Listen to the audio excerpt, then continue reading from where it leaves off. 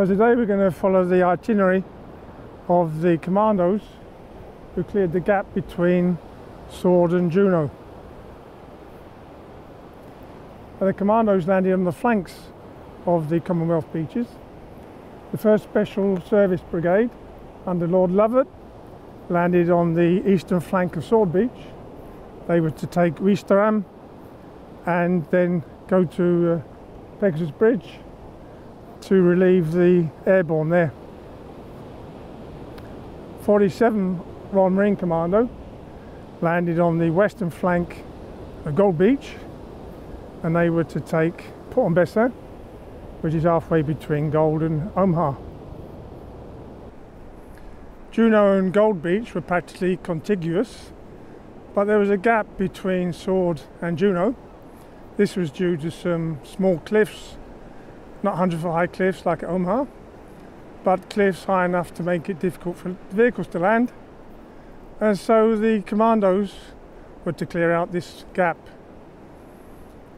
41 Royal Marine Commando landed on the western end of Sword Beach.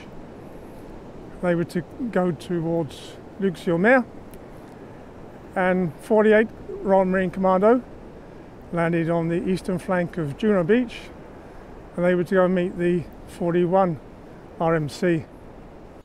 41 RMC and 48 RMC were to join in this hamlet of Petit Enfer between Luc-sur-Mer and Langrune.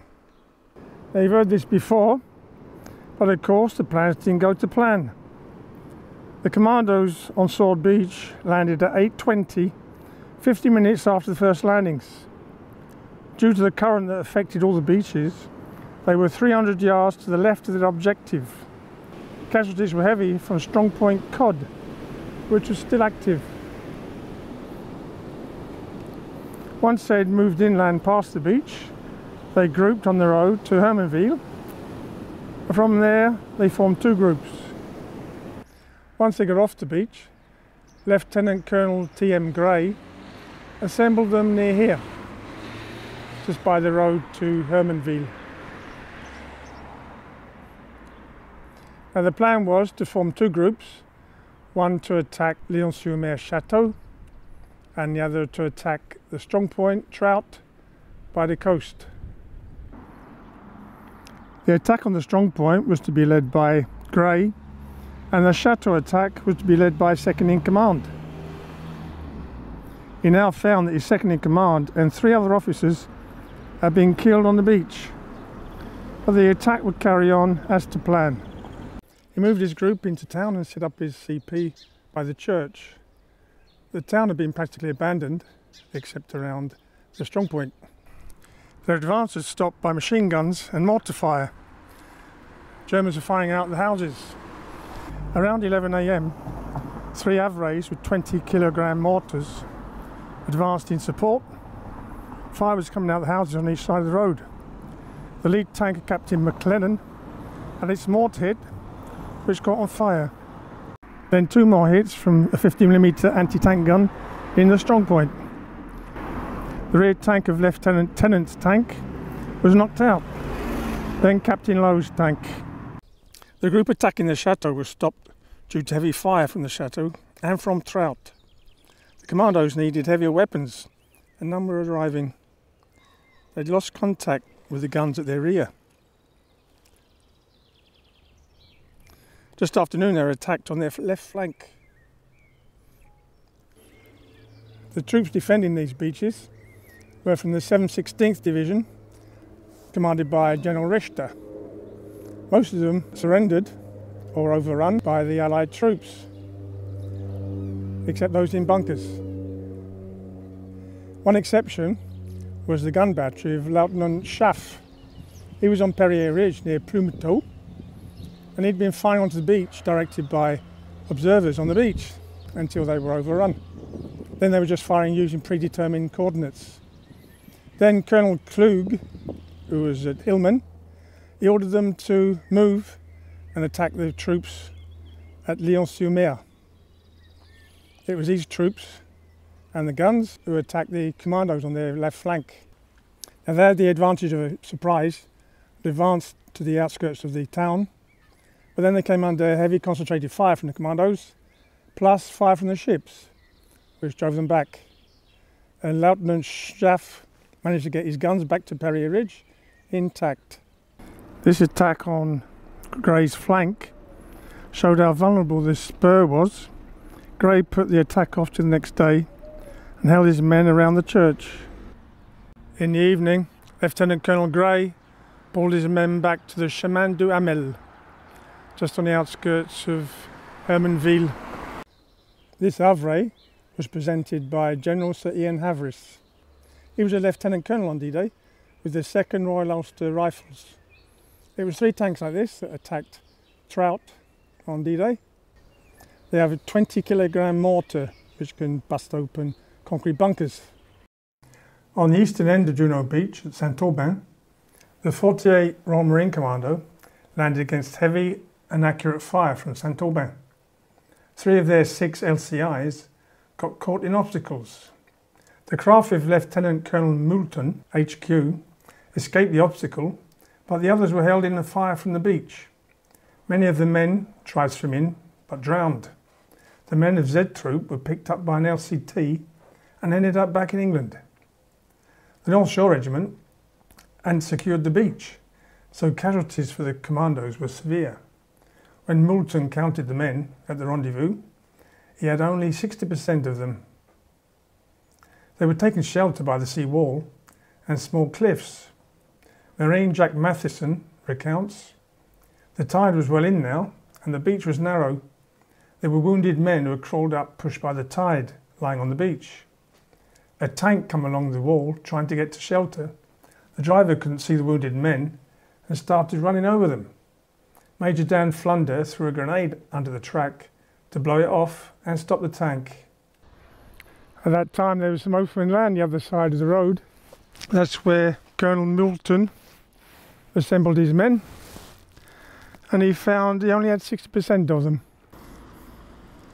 Now the objective was to take Langrune and then meet up with the 41 RMC at Petit Enfer at Luc-sur-Mer.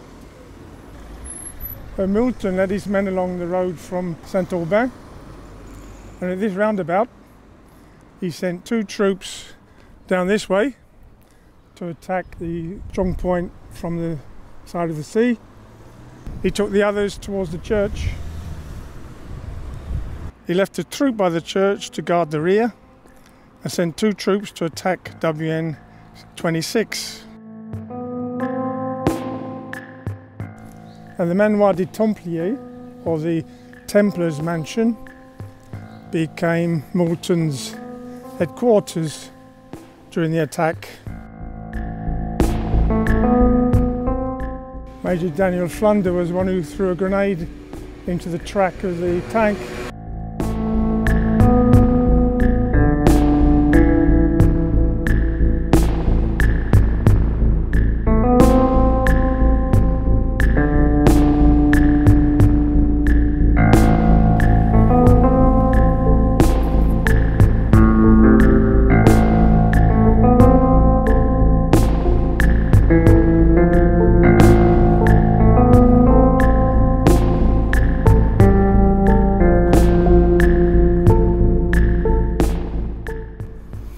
commandos were too lightly armed to overcome the concrete fortifications of Strong Point. Two Centaur tanks from the Royal Marine Armoured Support came forward, but they were stopped by mines while firing at the concrete wall, which barred the way. By the evening, it was evident that the attack had stalled. Intelligence warned them of impending attack from the 21st. They were instructed to set up a defensive cordon on the flank of Juno Beach. WN26 was in the position of what is now the car park. There were houses along here between the road and the sea, and they were turned into real block houses. That means the house looked normal from the exterior, except the windows were concreted in, and the inside of the house was reinforced with concrete. The windows just had small slits to fire from. And in the middle of the junctions each end. more or less where that manhole cover is, there was a Tobruk. So a man would just have his head above ground level there, firing down towards where the commandos were coming from. And then there was a concrete wall. Where the traffic lights are up there, there was another Tobruk in the middle of that junction. And along by the sea, there were concrete emplacements anti-tank guns, mortars, machine guns. They spent the night with no action, but looking both ways to Strong Point and inland, watching for the panzers. 41 Royal Marine Commando were in more danger of being attacked by the panzers because their objective was to go to the coast and then turn right to attack Sword Beach. It was across this open country that the 21st Panzers launched their attack towards the coast.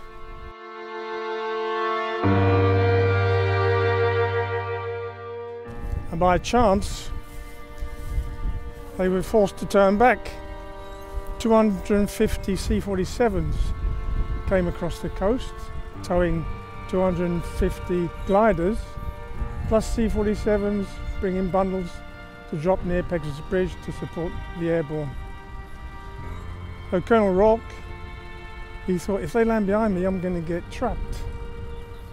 And so he turned round and went back to Caen. On the 7th they took up the task of attacking WN-26 again. Two Wolverines, watched by Lieutenant Colonel Moulton, pumped solid shot into the concrete wall and finally broke it down. The Sherman led them into the strong point, firing HE shells. 48 Royal Marine Commando had attained its first objective of D-Day. The junction between 41 RMC and 48 RMC never happened here at the Petit Enfer. So it was late on the evening of the 7th that the junction between 46 RMC and 41 RMC happened at the Petit Enfer. They landed on Juno Beach on the 7th. They also took the strong point at Luc-sur-Mer, WN25. All that's left of the WN25 is this machine gun Tobruk. There had been many commando raids and reconnaissance visits along the coast before D-Day.